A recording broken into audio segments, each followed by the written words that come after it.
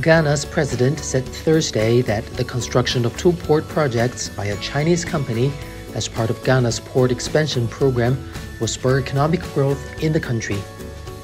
A ceremony was held for kicking off the construction of an oil and gas service terminal as well as a floating dry dock and a ship maintenance facility contracted by the China Harbor Engineering Company at the port city Takoradi.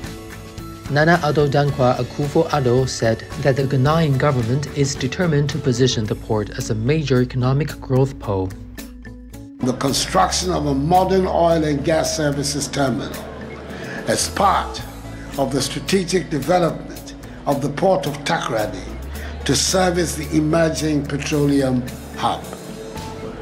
The completion of this project, which is estimated at 98 million United States dollars, will accommodate oil and gas service providers, fabrication companies, exploration companies, and their suppliers for supply-based activities.